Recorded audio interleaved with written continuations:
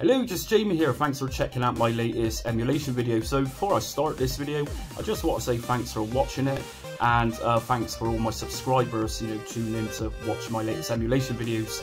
I do a range of different videos on my channel, music, tuition, obviously emulation, tuition, gameplay and modern games, so everything. So I need your support to upgrade the channel, as it were. I need new microphones, I need new backdrops, I can't keep going on using this. So I need a lot of stuff to enhance my channel to make it so much better. But anyway, uh, check out links in my description and enjoy the video. Take care.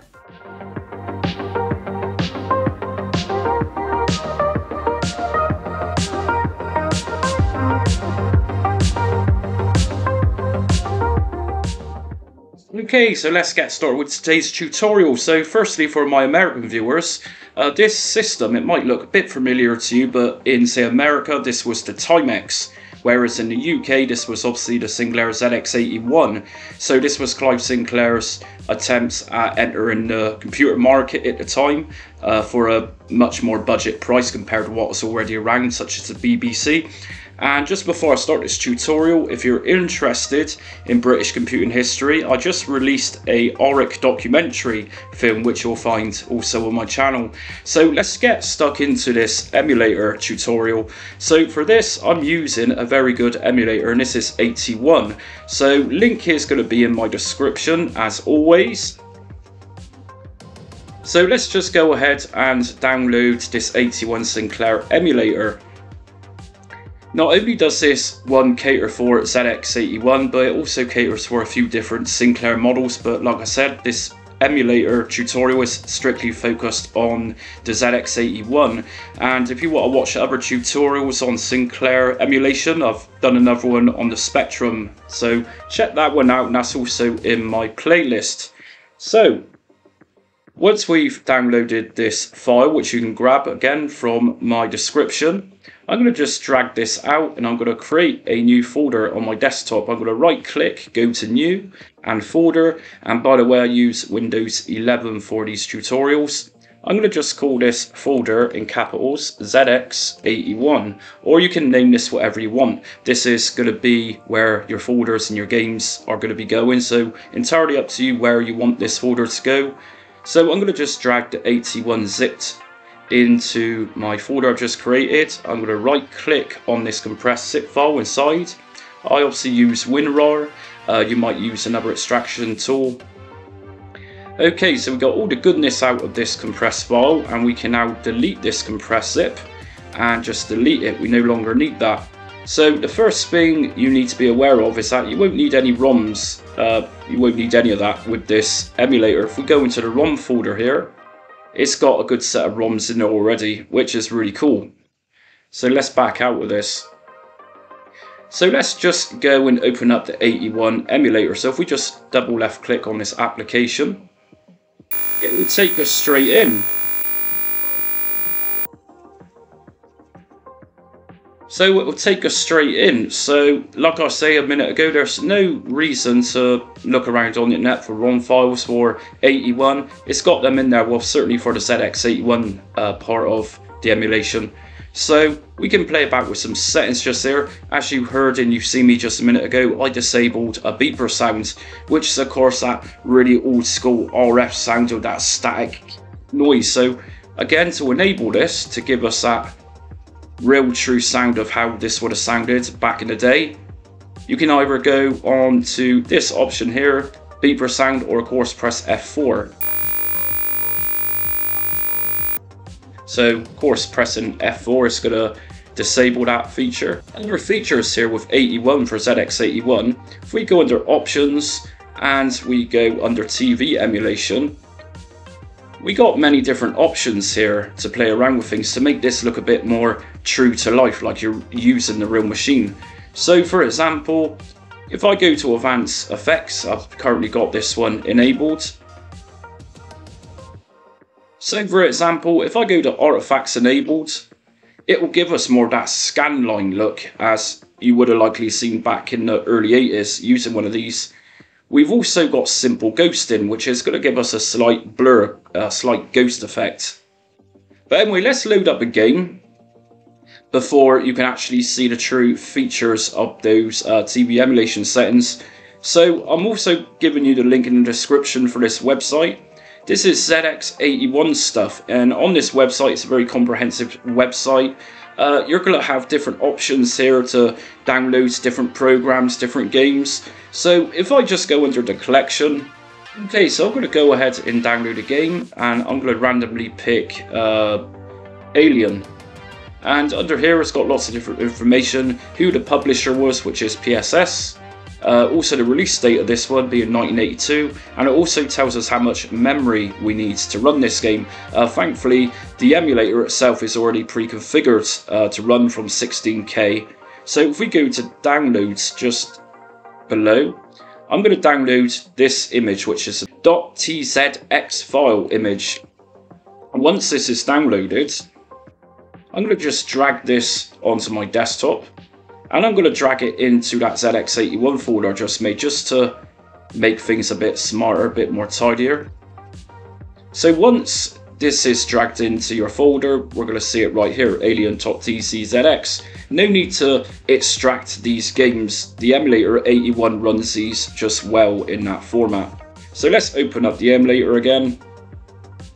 And to load this, all I'm going to do is go to File, I'm going to go to Open Tape, and from here I'm going to find where this game is. So obviously I just put this one into my ZX81 folder and there it is. So Alien TZX open.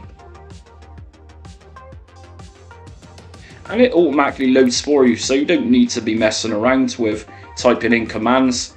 Uh, so here we go. This is the beginnings of the game. Do you want instructions? Uh, I guess so so it gives us a brief story of this game press any key, so how to play. So it's also given us the instructions how to play the game using a keyboard, which of course largely back in the day ZX81s were a keyboard affair until the ZX uh, 48K came along. So let's try this out. So these are our keys.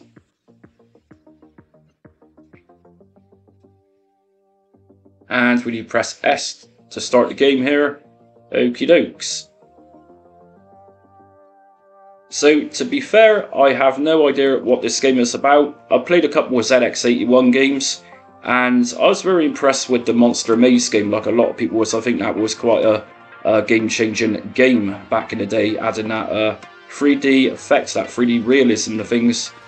So, yeah, that's pretty much how you uh, play the ZX81 games. Don't worry about unextracting them. As you can see, they run just well in zip format. So something else which I'm going to show you, uh, say you need to do something and you're halfway through a game or you need to save your game progress, 81 is going to allow you to actually save your games. So if we go to file here, whilst you're inside the game, whilst you got it running, we go to file, if we go to save snapshot, you'll get a new window come up, save as. In here, under file name, you just enter a save file for it. So I'm going to just call this one for example, save, and that's it. So just press save. And let's say, for example, I got a bit further in this game, so it looks completely different from what I see in front of you right now. To load it back up, we're just going to go back to File, and we're going to go to Load Snapshot.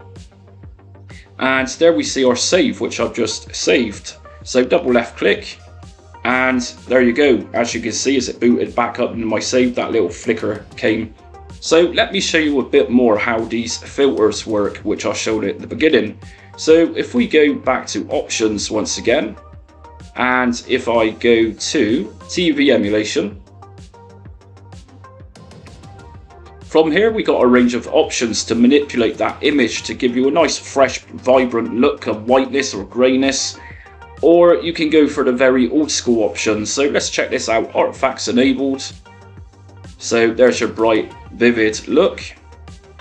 And we'd also add simple ghosting once we got artifacts enabled. So try that again. And there we go, simple ghosting. And it does add a little bit of a blurry effect to it. And we've got interlace display and advanced effects and so on and so forth. You won't break the system by playing around with these settings.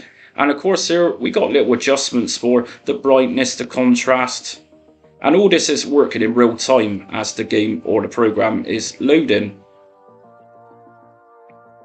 So of course, should we need the actual keyboard of the ZX81 on screen for any reason at all, say for example you don't have a keyboard and you've only got a cursor or mouse working, this keyboard, virtual keyboard here, is very handy.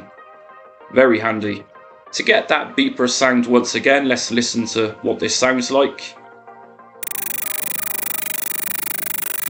Let's talk about full screen options. If I go to options once again, if I go to display settings, and from here, I can change renders, but in my case, direct draw is working just fine.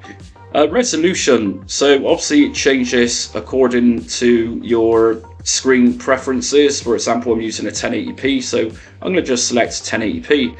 We've also got a letterbox option here to make this a bit wider and you know so on and so forth. And finally, one last thing I'm going to show you, if you truly want that real nostalgic look like you are using a real ZX81, if we go to view just here and border size, we can change borders on the actual emulator screen. So let's check this out. If we go to large, it's going to give us all those artifacts on each side.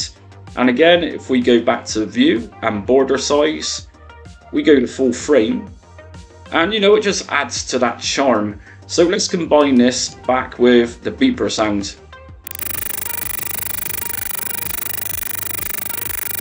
So that's it for my ZX81 tutorial. So as you can see, it's a very good system. It does a lot. Uh, the only thing it won't do by the seams of things is emulate a controller. But like I said, back in the days when ZX81 was around, controllers like that didn't really exist. They didn't really come along into the mainstream until a good couple years, few years afterwards. So, um, like I said at the beginning of this video, if you're interested in British computer history, check out my Oric documentary film. I'll leave the link to that in my description as well. As always, thanks for watching and I'll see you later.